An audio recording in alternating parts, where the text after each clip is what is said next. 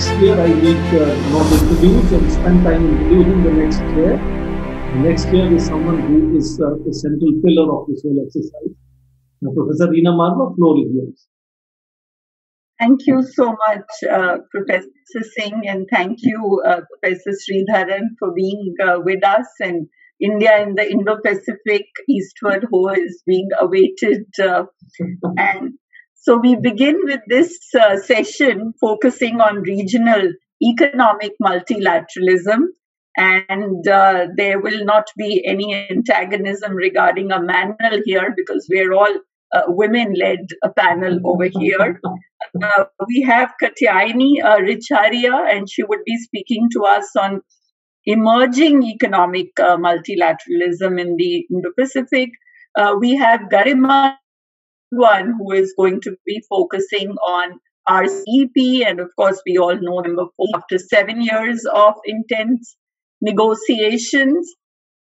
Uh, that I would 10 minutes, but I'll be grateful if you could wind up in nine, uh, considering that we should keep to our time. Uh, so thank you so much and looking forward to our first uh, presentation. Katyayinee, could we see you please? Hello. Good afternoon, ma'am. So I'll start sharing my screen first. Yes. Yes, yes, it's visible. Please, yes, you may start.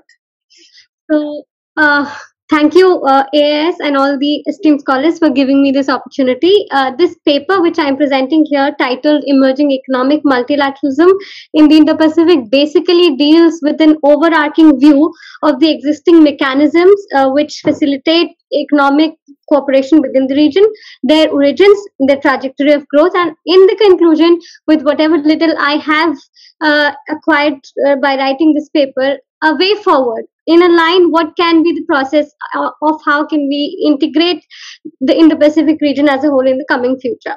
The asian development bank has in, estimated the infrastructure requirement of the indo-pacific region worth 1.7 trillion of investments annually until 2030 and a report by the asian development bank estimates that a 22.6 trillion of amount or 1.5 trillion per year from 2016 to 2030 is to be given into infrastructure needs by a developing asia in order to cater to its uh, growing requirements of infrastructure and economic growth. According to the UNCTAD classification the, of the out of the total 43 countries in indo-pacific only 5 are developed developed 28 are developing and uh, two are least developed countries. So we have a major chunk of the countries who are emerging economies and are developing in this region of Indo-Pacific. Uh, this estimation is done with regard to uh, the most inclusive de- definition of Indo-Pacific at hand, which includes uh, starting from Americas to Africas. Now, uh, coming coming to my next slide, which is about the features of this economic multilateralism. Beginning with the origin of this term, uh, we find that this term was origin originated by a German geopolitician, Karl, Karl Haushofer, who used this term called Indo-Pacific Raum to uh, basically estimate the combined economic might of Indian and Chinese civilizations, the economic potential and the economic contribution they have towards the global economic uh, to the, towards the global GDP and the global economic growth. This term was unique because it was first used uh, as a collaborative uh, mechanism of Indian and Pacific Ocean. Uh, Indian and Pacific Oceans are two distinct entities and were considered so until this term came into being. And despite of the vast dissimilarities and distance caused by the two oceans, uh, this term was used as a as a combined economic might of both the countries. Uh, so it indicates two uh, important facets that this term was first used for uh, as an economic entity and rather than uh, a security or a political geopolitical entity and second that uh, china is a very integral part of this indo-pacific construct now uh, the quad meeting that we uh, that we witnessed on 12th of march uh, which was the first as the biden administration took place tended to shift the orientation from the securitization of Indo-Pacific, the narrative which is overwhelmed with security uh, concerns, towards an economic orientation. So it announced a working group for formation and distribution of vaccines, wherein institutions like GCA and United States Development Finance Corporation they were uh, tried to uh, they were trying to finance the vaccine requirements so that regional distribution of vaccines and regional research of vaccines could be enhanced the third point is about resilience in supply chain. So we have seen that with regard to the dis- disruptions caused in supply chain due to the pandemic and uh, the realize the evident realization of several countries of their over dependence on Chinese uh, supply chain, we see that countries like Japan giving incentives to their firms to move out of China, out of which most of them moved to Vietnam or parts of Southeast Asia, and only 15 out of, out of the 87 moved back to their home countries. So we see this uh, enhanced uh, urge in these organizations in these firms to uh, to be a part of the larger integrated e- economic environment of Indo-Pacific. This Indo, uh, this Indo, this economic multilateralism is basically spurring out of two uh, major branches. One is the, the realization of benefits of cooperative mechanisms, and second is the rising infrastructure demand of these growing countries, whether they are LDCs or whether they are emerging economies. So, a computational general equilibrium analysis done by Dr. Prabir Ray shows that uh, an additional benefit of dollar 1.2 billion, uh, trillion will be accrued uh, when the countries of Latin America and Africa and the countries of developing Asia, which are left out from this construct, become a part of Indo-Pacific and the economic mechanisms uh, uh, institutions that are currently a part of Indo-Pacific. Now, on the other hand, the rising infrastructure demand uh, which is highlighted in the, the recent World Bank's report on connecting to thrive. And, it is basically more specific to Eastern South Asia. But if if those benefits are more holistically uh, expanded to the entire of Southeast, uh, entire of Indo-Pacific, we we find that the uh, the material gains are very much evident. Now, uh, coming on to the trajectory and processes of economic multilateralism, these the major instruments of economic uh, multilateralism in the region are a trade blocks and b some national strategies which have become more inclusive to include uh, several projects in several countries of uh, Indo-Pacific. So basically, every major power has tried to shift the economic landscape of Indo-Pacific to align with their own version. The economic institutions are a result of processes of economic integration that began during the era of Asia Pacific. So, this region has some remnants of the Asia Pacific uh, times and also newer and newer uh, in, in, in instruments are being forged to cater to the demands of indo-pacific the more inclusiveness of indo indo-pacific uh, starting with the formation of apec in 1989 and before that the apta the asia pacific free trade area in 1975 the US has tried to push for the creation of economic institutions and infrastructure based on its four pillars funding, mobilizing private capital, cooperation among finances, and emphasis on high standards, which it puts as an alternative to Chinese uh, investments or Chinese projects uh, spearheaded by the BRI uh, because of lack of transparency. Uh, in 2018, U.S. Secretary of State Mike Pompeo announced an investment of 103 trillion dollars million dollars for creating. So we see that in response to the Amer- uh, to the American investments through Build Act and through these uh, in through these institutions like U.S. Development Finance Corporation, Japan coming in in 2015 with its EPQI initiative, which was uh, later expanded as expanded partnership for quality investment based on these same four pillars, emphasizing on transparency and accountability in order to exclude or in order to restrict Chinese involvement in these uh, institutions. Now, um, we have RCEP currently becoming the largest uh, trade bloc of Indo-Pacific with, 20, with having 29% of global GDP. The countries which contribute 29% of global GDP a part of these uh, of this uh, trade bloc. At the same time, uh, the national initiatives like Sagar, which was talked about, and EPQI, which I talked about, mentioned, uh, can be or have become more inclusive to include uh, six projects ranging from Iraq to Kenya, etc. Now, the challenges of uh, these remain.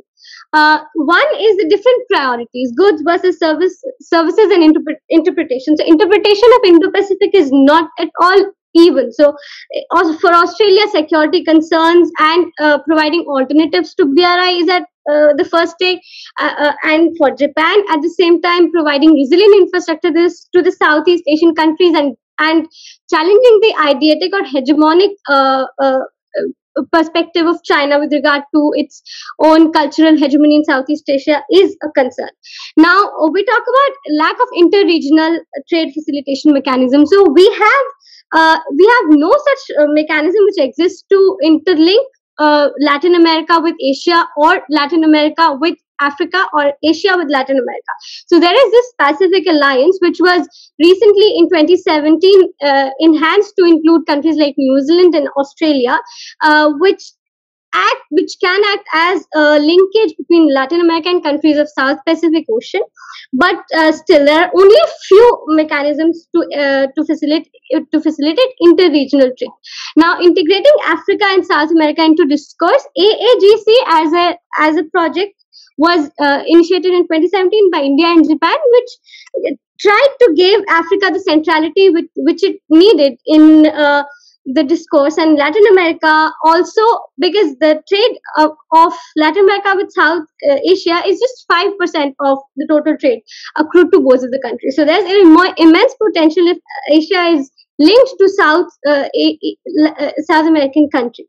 Also, that there are uneven tariff rates in developing developed countries, and there are uh, various uh, non-trade barriers which hinder the growth of economic institutions, inter-regional economic uh, institutions.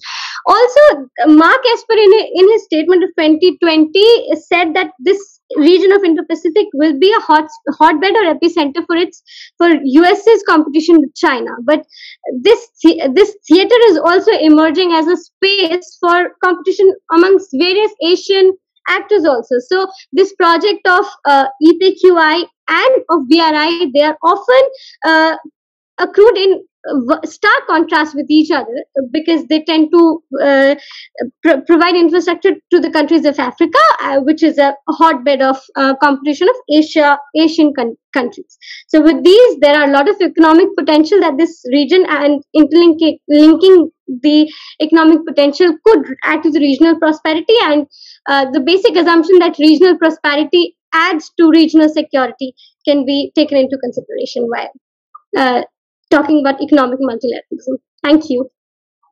Thank you, Katyayinee. Uh, uh, actually, you have taken a lot of micro and macro issues uh, together, so maybe you would need to restructure your paper. Can you stop presenting, please, so that we could uh, go on to the next presentation by uh, Garima Sangwan, speaking yes, on RCEP? Yes. So, Garima, nine and maximum 10 minutes. Please wind up so that I don't have to keep reminding. Garima, are you there? Yes, ma'am. Yes, please, please start. Thank you for the introduction, ma'am. So, the topic of uh, my presentation is RCEP, Regional Comprehensive Economic Partnership, and the new economic multilateralism in the Indo Pacific region. So the my paper is divided into four segments with four objectives. How RCEP has evolved as an economic multilateralism, uh, multilateral institution. How it has become significant to the growth of multilateralism in the Indo-Pacific region. How is it uh, influencing other multilateral institutions in the region? And what are the challenges and future prospects of RCEP? So, uh, there was a time when Atlantic sea routes held a major prominence as far as the global trade routes were concerned. And in recent times, the uh, center of gravity has moved towards Asia. And the major reason behind this is the sea routes through which the crucial amount of global business goes on. Now, like every uh, emerging geopolitical concept, Indo-Pacific is a construct of contested interpretation and changing equations. The growing dynamicity in the region is driving uh, is driven by its emergence as the new hub of global trade and energy supply, triggering strategic competition amongst various actors. Uh, balance of balancing of power has to be maintained between growing belligerence of China and relative decline uh, of UN's alliance system on the simultaneous plane. And amidst this, there is a little doubt that Indo-Pacific region is witnessing a cautious, pragmatic, and consensus-building uh, approach to multilateral institutions. Now, speaking of this, the Regional Comprehensive Economic Partnership, uh, which subsequently will refer with um, RCEP, is one of the vital arms of multilateral order in the Indo-Pacific region. Now, RCEP, speaking of RCEP, to begin with, the advent of trend of globalization, many voices have been calling for deeper Asian integration since the early 90s. Many competing visions were put forward as to what form such an integration should take place and which all countries should guide the process. Many uh, multilateral forums contributed to a considerable extent to explore possible pathways to achieve a free trade area of Asia Pacific, which is the FTAAP. And one of the ways to achieve FTAAP was through APEC. Another was advanced by China, was to create an East Asia-wide free trade agreement comprising China, Japan, and Korea, which was known as ASEAN plus three. And a variant of this was ASEAN plus six agreement, adding India, Australia, and New Zealand, which later on emerged as the ASEAN. So ASEAN brings these contrasting ASEAN-centered agreements in conjunction under one umbrella.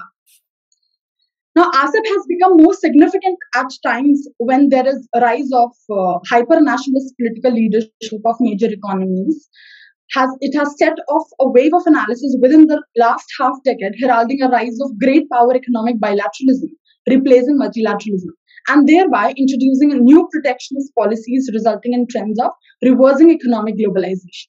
The US-China trade war, Brexit are the cases in point. In Indo-Pacific region as, as well, the prospects of economic multilateralism stood diminished by the de facto moribund state of global multilateral trade negotiation um, sponsored by WTO. Now, beyond its implications for trade and deepening economic ties between member nations, this is where RCEP represents a major resurgence of economic multilateralism in the Indo Pacific region, and in particular, a bridging the economic case for the region that has up till now been less developed.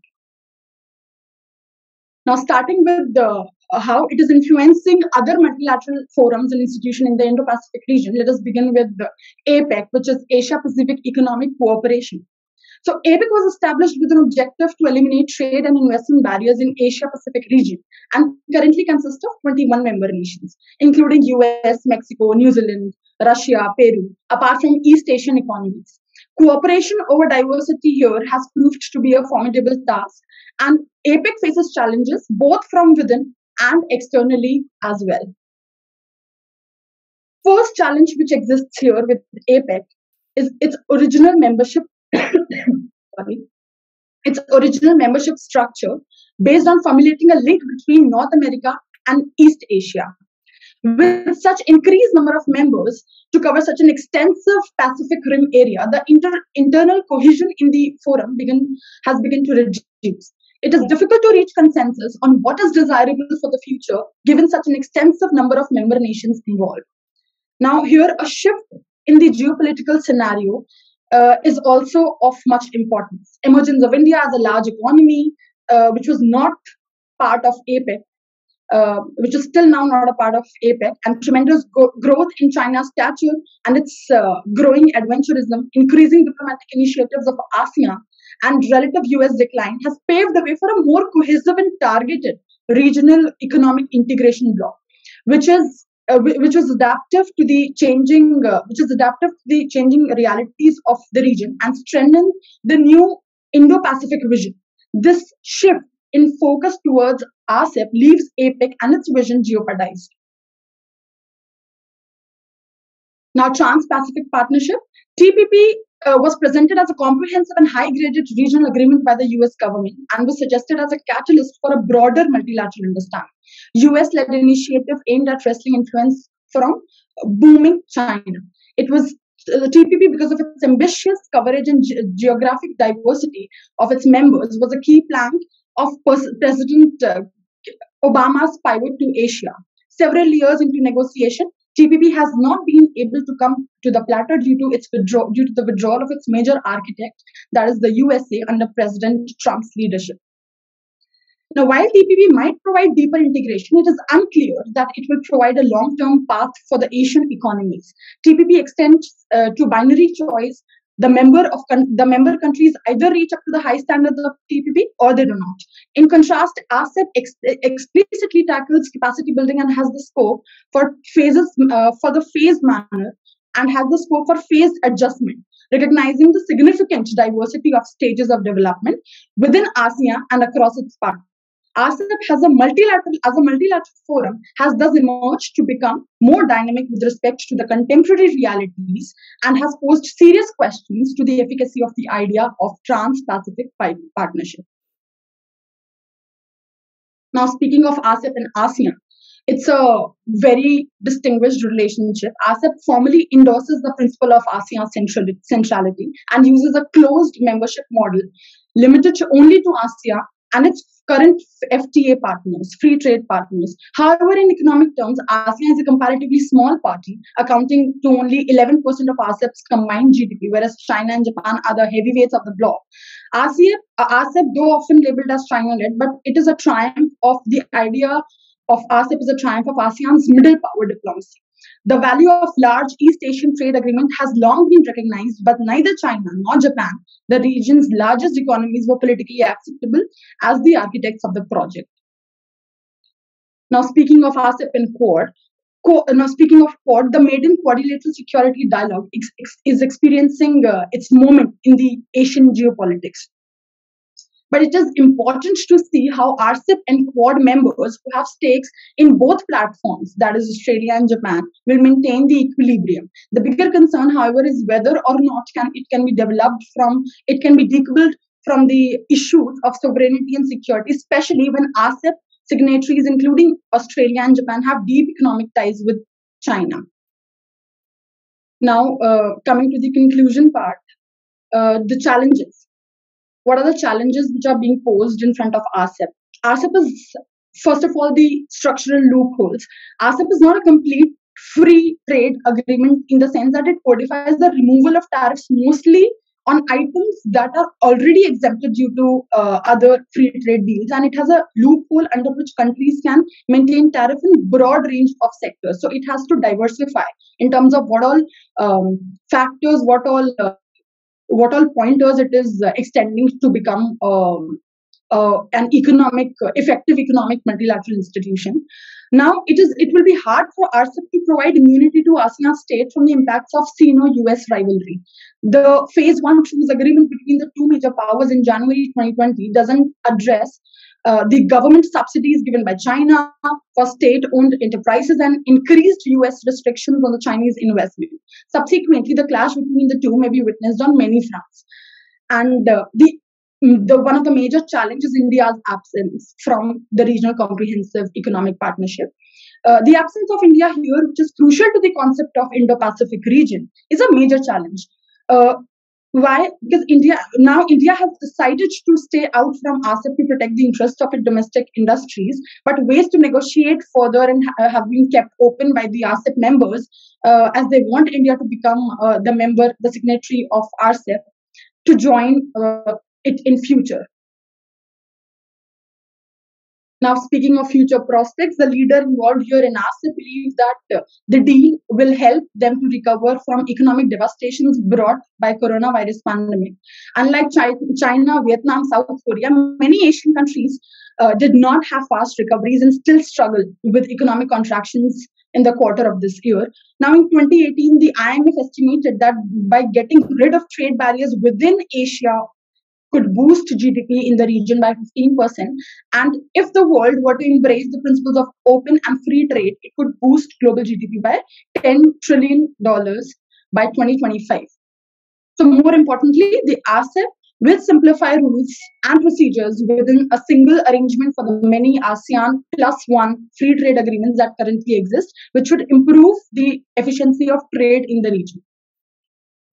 So, towards the end, RCEP has the capacity to strengthen the economic case of evolving multilateralism in the Indo-Pacific region towards a free and towards a free and uh, open um, region, and it is not too narrow uh, and not also not too wide and diverse uh, so that it lacks cohesion. It is uh, somehow uh, being worked to um, you know to make it more suitable to the idea of Indo-Pacific region particularly. So I would like to conclude now. Thank you so much. Uh, thank you, Garima, uh, for your uh, paper presentation, uh, well structured. Uh, maybe you could bring in some of the um, you know elements of how there would be some inter- intersection with the WTO rulings and um, you know how it would also i mean how it is an improvement over other uh, mechanisms which have existed so because already china has an uh, fta with asean so is it really going to be uh, some you know incremental uh, benefits uh, so may i please uh, request our discussant Ashis Adhikary, please could you present your comments? Thank you. Thank you, Professor. Uh, am I audible? Yes. Yes. Uh, uh, the wonderful papers and wonderful presentations by the presenters. Uh, first, I will talk a bit. I'll, I'll become a bit, bit specific and talk about specific authors and papers, and then I'll try to give some generalized uh, points at the end. So I would like to begin with uh, Garima Sangwani's paper about RCEP, and uh, she has raised some pertinent issues and shows and showed a, a, traversal, a development of RCEP from ASEAN plus three to ASEAN plus six minus India and uh, uh, she has divided her paper into four parts. She has talked about conceptualized RCEP, and she has also discussed about uh, RCEP and other multilateral institutions and challenges uh, in the future. Uh, the interesting part is she has empirically defined the prospect of RCEP if India is not present. like the whole population will remain in 2.2 billion from 3.6 billion if India is not present in the RCEP and even the contribution to world GDP. And uh, one important argument that she has made is uh, uh, how will the participant countries manage their dual presence in the Indo-Pacific region, like Australia and Japan in RCEP and in both Quad? So how will they manage that? That that's a pertinent question that she has raised. Uh, I have some suggestions uh, to her. Uh, my first suggestion is uh, uh, maybe we need to define whether RCEP is a part of Indo-Pacific or not, especially after India has left uh, the partnership uh, at the last moment. Maybe we need uh, some Uh, existing references uh, to, to put uh, the RCEP into this geographical scope of Indo-Pacific. And uh, your third part, you have talked a lot about uh, RCEP and its association with uh, other multilateral institutions like APEC and Trans-Pacific Partnership. probably some importance of the parts of this chapter could be accommodated in the second chapter where you have talked about the conceptualization of uh, RCEP and uh, uh, and a bit less about other multilateral institutions. It, it, I, I, perceive them as a bit descriptive and a bit less interrelated with the with the main argument that you are trying to make. So and uh, to add on, uh, RCEP also has some uh, important avenues that we should not miss, as far as I understand. Uh, China, South Korea, and Japan, and uh, they have uh, came into a single platform to discuss, which they have been trying since very long, and we're not able to furnish it in an adequate way. So maybe that also would be an important aspect to understand RCEP. Uh, regarding Katyayinee's paper, uh, the author has uh, eloquently presented the process of economic multilateralism in the region uh, through the formation of uh, trade blocks and infrastructure. Discussed about uh, the trade blocks that have been created and the, the necessity of infrastructure, the high necessity of infrastructure. She has also talked about the BRI and BDN in, in her paper and the interesting part that I I, I liked on her paper was uh, that uh, she has done a deeper analysis of the challenges that uh, the economic multilateralism might face in future.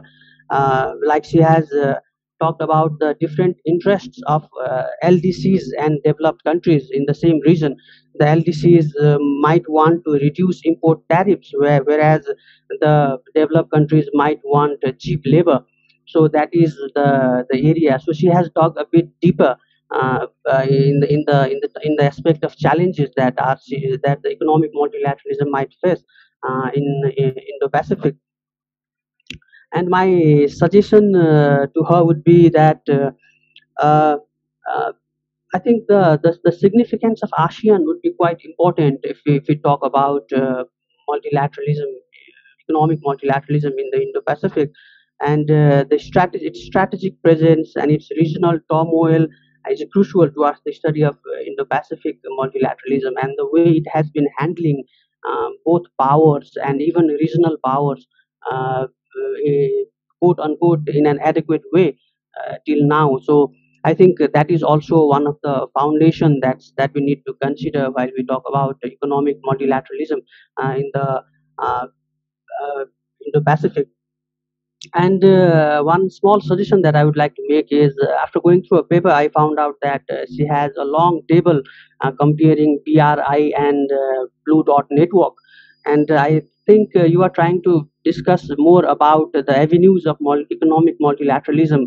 And BRI and BDN would be a comparative study of how specific countries look at that region. So if you don't want to migrate into that uh, framework, maybe uh, maybe we can consider it a bit uh, a bit a, a, bit lesser of those comparisons and all. If you if you want, um, Garima has elaborated RCEP with its focus on economic significance of the whole region, and Katyayinee has focused on the process of multilateralism through different trade blocks and infrastructure projects. Uh, all presenters have talked about the challenges of economic multilateralism in one way or other. Just I would, I would like just sum of uh, uh, adding one or two points uh, from my side. Mm, like uh, for example, uh, we have talked about the evolution of multilateralism in the Indo-Pacific, but we should not also forget the how big powers perceive that region in an economic way. So I think a major aspect is how United States and China are they uh, trying to cooperate into a multilateral avenue, or are they trying to uh, develop uh, uh different economic blocks?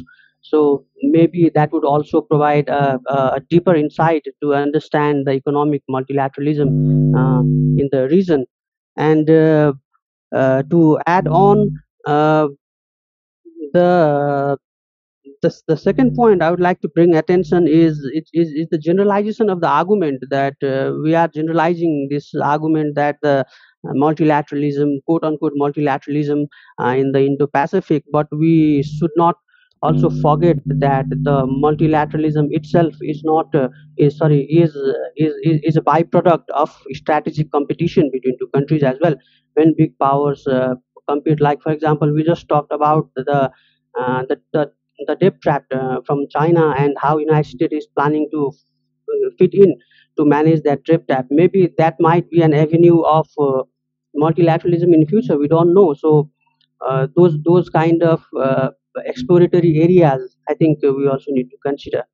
Uh, thank you. That's that's what I would like to add on. Excellent papers. Thank you for your presentation.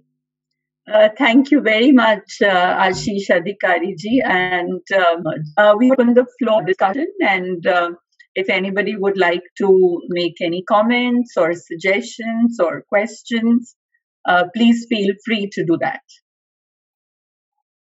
Uh, Professor Swaran Singh, would you like to yeah. okay. make some comments? Yes. Yeah. Thank you, Professor Marwah, for giving me a chance to speak. I or maybe Shakil wanted to say something, but maybe he can speak after. I have made two comments.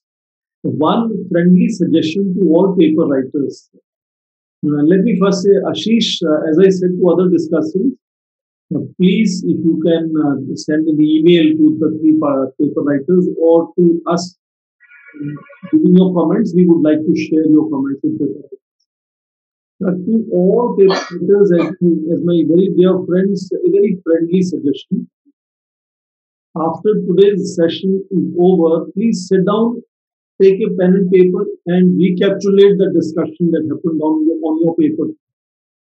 Now, if you think you will do it tomorrow, you will forget much of the discussion. So I suggest pen down uh, on your paper as to what was uh, suggestions made because sometimes paper writers hear more than discussants have actually said because you are actually focusing on the theme. So sometimes discussant doesn't even know what he conveyed without actually intending, and paper writers still heard. So your mind is focused on this discussion. Please uh, make, make those notes for yourself. Uh, very quickly now, specifically for these three papers, Katyayinee, uh, you have to make sure that you only focus on multi. I don't see, I see Katyayinee. Katyayinee, you have to make sure this is a project on multilateralism, and this applies to all three papers. And you have to look at only specifically on multilateralism as an idea, as institutions. Individual nations, policies, actions, episodes will be only reference points. They will not be the argument. The main argument will be how multilateralism is uh, evolving, moving, changing, transforming.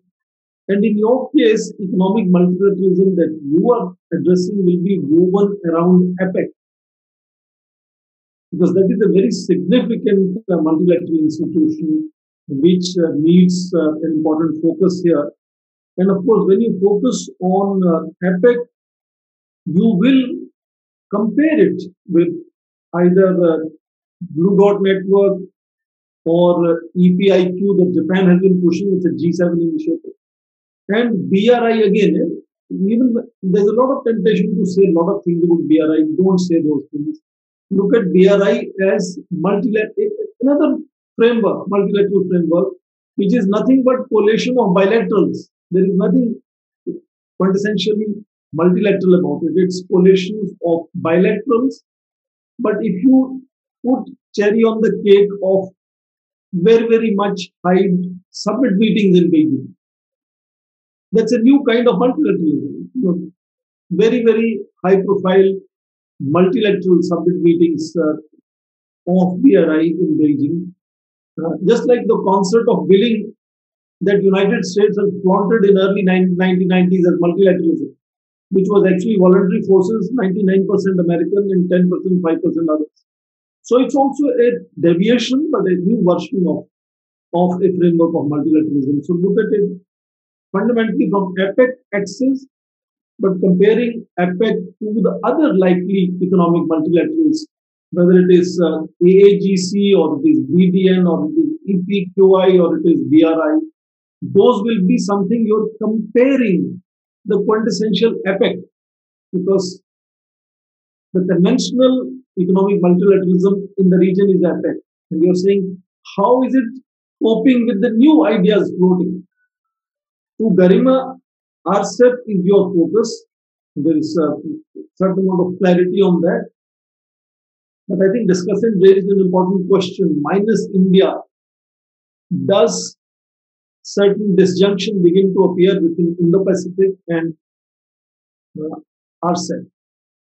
Second, I think again, since your focus will be primarily ourselves, uh, you will have to then compare it or you know address other ideas, TTPI, for example, you know, or ASEAN-centric initiatives you know, or I think even China, because I, If you don't agree with me, don't do that. But my assumption would be that this paper can also beautifully underline how RCEP, which was essentially in the beginning an ASEAN initiative, has over years evolved and become a China-led initiative. And that partly explains India's exclusion, but we don't have to deal with that part. India exclude India's exclusion impacting RCEP, creating a disjunction with Indo-Pacific is irrelevant. And looking at China-led shift from ASEAN centricity to China-led model of RCEP and how does that compare again with for example?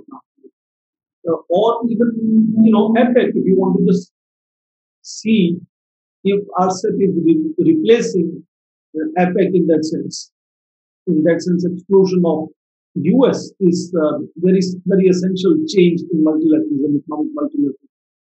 Uh, with Devyani, I'm uh, also sad to hear that her sister is uh, positive, and uh, if she can, we will accommodate her paper tomorrow in the last session. Uh, but if anyone else has any other comments to either me and Professor Marwah, you could now share that. We have a little bit of time with permission of chair, yes. of course. Uh, Jumel uh, from Philippines uh, would like to ask a question. His hand is raised. Just Jumel, may you uh, could you please uh, switch on your video? Okay. yeah, I only yes. see videos. I'm uh, yes. Sorry, sorry. I, I just I just opened my my speaker. first and foremost, I would like to thank Dr. Swaran Singh and Dr. Reena and the entire AAS for this so wonderful event. Um, uh, recently, uh, there were at least 44 ships or Chinese uh, vessels, including the uh, military um, men or the militias in the uh, in the South China Sea. I just want to ask the uh, the speakers, whether in session one, two, and three, right earlier, what are their thoughts about um, China's recently coercive tactics in the South China Sea. And at the same time, the United States uh, response using that um, um, new, newly, uh, newly um, pushed uh, foreign policy of the current administration under uh, President Biden uh, vis-a-vis the pushback the Mutual Defense Treaty since 1951. So with that, uh, thank you so much. Uh, thank you, uh, Jamel, uh, for your comment and question. Uh, though it does not really pertain to economic multilateralism, which is the scope of uh, this particular session. Uh, so, if anybody else would like to respond um, to Jamel. Yeah, because I, I just actually raised that, Dr. Reena and Dr. Swaran Singh, because uh, I've, I've I've heard that um, a lot of speakers were mentioning about about the about the Quad, about the uh, this uh, Indo-Pacific um, Quad alliances. Yes, they were of course a Chinese role and yes. So I I hope there's someone from the uh, India's that's, India's perspective or uh, India's vantage point who can who can talk uh, who can talk about uh, his or her ideas about the about this uh, Indo-Pacific and then this uh, economic uh, bargaining chip of uh, bargaining chip of the of China or the PRC or the People's Republic of China using the uh, maritime Silk Road, the OBOR or the One Belt One Road, while there is a you know uh, ongoing quad quad um, pushback or or campaign among Australia, Japan, India, and the uh, United States. And I believe that the Philippines is in the middle of these quad alliances. And at the same time, India is, of course, uh, not quite far from us. But I believe there is a, a thin line that can be that can be a, a link or for cooperation between the Philippines, not only uh, not only uh, economically, not only with the military exercise, uh, exercises, but also in terms of the political security that can be taken advantage by the uh, by the Indian government. Um, Mr. Shakil Hussain, would you like to say something? Please. You're mute. Uh, oh, so, sorry, sir. Thanks for uh, inviting me, calling me. I would like to add something to this gentleman, and that, that is a question if China make any aggression towards any uh, respective countries like Philippines or South Korea or uh, Indonesia, then what Quad will do?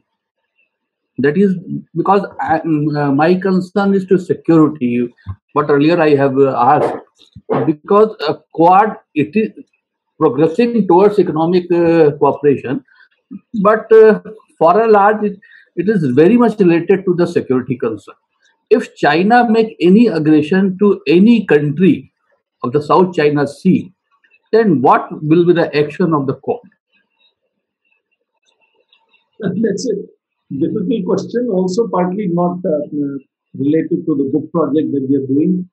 But uh, my assumption is China uh, never believes in an open aggression. If you notice what China has been doing last 40 years in South China Sea, it's extremely incremental expansion uh, short of uh, going for war. that's and, uh, and bilateral engagement. That's what China does. And Philippines also knows very well, you know, that uh, there will be economic arm twisting in uh, Philippines. And as we have seen, uh, President Duterte has been bowing to China and continues to want to engage China economically. Yeah, but yeah. of I... course, the recent uh, incidents do show that uh, you know the aggression uh, is increasing, and that is why we are seeing the South China Sea and ASEAN countries, uh, you know, so kind of closely um, getting embroiled in this and becoming a theater for superpower competition as well. Yeah, I I, I also agree with uh, the statement of Dr. Swaran and uh, Dr. Reena. Uh, thank you so much for your thoughts about and, and your concern to us uh, Filipinos here in the uh, in the South China Sea because uh, I believe that the that the essence in the realization of cooperation and uh, strategic partnership of Quad also rests to the uh, to the idea whether these alliances could actually truly um, give its support beyond the mutual defense treaties uh, that they have entered in, whether uh, a couple of decades ago.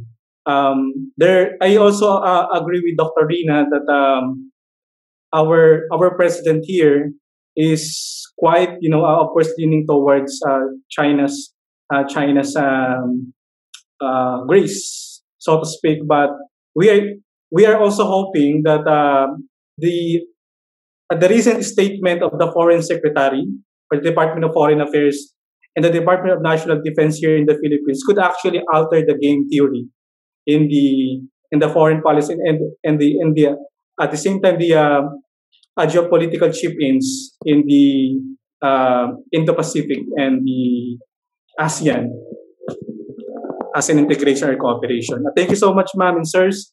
I, I am actually learning a lot from this event. I hope there would be a lot of events here and also uh, some per, some perspectives uh, in the near future coming from us because I also observed that most of the speakers are very eloquent and very good uh, uh, Indians and I I really admire Indians actually because I I, I believe um, the our our dean in the University of the Philippines, at Diliman, uh, I I, be, I believe is also uh, Dr. Santa Rita uh, in the in the UP uh, Asian Center um, has actually uh, been uh, actively participating in the AAS or the association. Um, yes, for the Asian scholars. thank you so much, ma'am and sir. Thank you. Thank you. Please do join us tomorrow as well. And we are going to conclude this session, but uh, one uh, minute each to our two presenters for today, and then a final vote of thanks by Dr. Ghazala. Uh, yes, Professor Swaran. Datesh was trying to say something. Yes, Datesh. Yeah, with the permission, I may I just comment a little bit on what Jumel said, uh, yes. to add to the discussion. Uh, there's no doubt that the uh, India's relationship with Philippines definitely is getting stronger. You would have seen two dimensions. One of them being the whole vaccine development issue, where after the last Joint Commission meeting, the Foreign Secretary of Philippines actually said we don't only want vaccines from India, we want to get into deeper healthcare learning cooperation with India. So that was really a very strong element, and of course the fact that we are on the cusp now of doing the whole BrahMos transaction with Philippines. But I think the Philippines needs to. It has been a cardinal principle of India's foreign policy that we are not appropriating ourselves to specific in, you know individualized maritime disputes that China has with its uh, with with its with its disputed neighbors in ASEAN. We comment more in the in the nature of principles that we stand for, which is freedom of navigation both over flight and and in sea. But we don't appropriate ourselves to any of these issues which are fault lines between ASEAN countries and China. So for Philippines to expect us to, you know, take a stand would be a little too unreasonable. Also, as we said, given the way in which President Duterte blows hot and cold and tries to basically use the US China dialectic to his tactical advantage, I think also makes Philippines a little bit of a kind of a hot potato in terms of dealing with.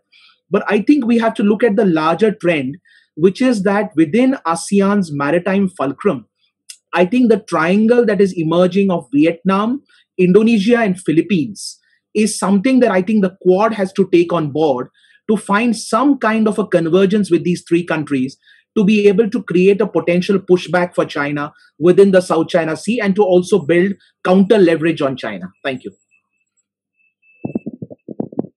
Uh, thank you so much, Ratesh. I think that was wonderful, the counter narrative which you said with uh, Philippines, Vietnam certainly becoming closer, and Indonesia yeah. also uh, joining in. So, uh, last uh, two minutes to our uh, two presenters for today, and then the final vote of thanks. Thank you so much, ma'am and sir, for your precious comments. And I will try to make it more structured and include whatever more explicitly state about the comparison of BDN and BRI, as was mentioned by Ashis sir. Thank you for your comments. Thank you. Uh, yes, Garima? Yes, ma'am. I want to extend my heartfelt thanks to AS for this opportunity, and uh, thank you, Ashis sir, for your valuable comments. I will definitely incorporate. Uh, and thank you, Swaran sir, for your comments too. Uh, thank you so much. Uh, thank you, Katyayinee and uh, Garima. We miss Devyani. Uh, with this, may I request Dr. Ghazala Faridi, who's also been a member of the academic uh, committee to steer this uh, conference. And uh, thank you all for a very successful uh, conclusion for the first day when we had three important sessions setting the tone, conceptualization of the theme, and then going into the uh, aspects of uh, multilateralism in the economic sphere, particularly. we all look forward to your joining us tomorrow as well and uh, for the formal vote of thanks to Dr. Ghazala Faridi. Thank you, ma'am. So, on um, behalf of the Association of Asia Scholars, uh, it gives me immense pleasure to extend a vote of thanks to all the participants on the successful completion of the first day of the conference. Uh, we have truly enjoyed the various exchange of ideas, and it has indeed been a very great learning experience for each one of us. Uh, so, a hearty congratulations to all those who presented today, and also deep gratitude uh, to Professor Jindal, Professor Sridharan, and Dr. Reena Marwah ma'am for chairing the sessions today. Uh, a very big thank you also to Dr. Rao, Dr. Parulekar, and Mr. Adhikary for excellently discussing the papers and providing their invaluable feedback. Um, also, uh, this conference could simply not have been put together without the backbone of the association, which is Professor Swaran Singh Sir and Reena Ma'am. Uh, there is so much to learn by just being in your company. And I would also like to thank all the participants who joined us from various corners of the world today. Uh, a very big thank you uh, to the entire team of the Association of Asia Scholars, especially to Dr. Silky Kaur. Uh, a special shout out to the technical team and all the interns also associated with us. Uh, I would also like to mention that had it not been for the pandemic, then probably we would have never got used to, introduced to, and used to this uh, virtual platform uh, that helps us, you know, get over the physical and temporal distances um, among us. so, with this, I would like to once again thank everyone whose uh, contribution has made this day, uh, first day, a great success. And I hope to see, we all hope to see each other again tomorrow. Thank you. Thank you. Uh, thank you. Nice afternoon. Enjoy yourself. Make notes of discussion and then enjoy yourself. the perfect professor. yes, always engaged. Thank you very much, everybody. See Thank you. you. Have a wonderful day and beginning to the weekend. Thank you so much for staying on with us. Uh, Dr. Datesh, uh, thank you so much, sir. Dr. Datesh. Thank you. Thank you. Mm. Thank you, Dr. Datesh. Excellent and valuable comments. Thank yeah, you very much. Thank you, Reena. Thank you, Swaran. Thank you, everyone. Uh, thank you, Sasithara. See you tomorrow. Yes, see you tomorrow. thank you.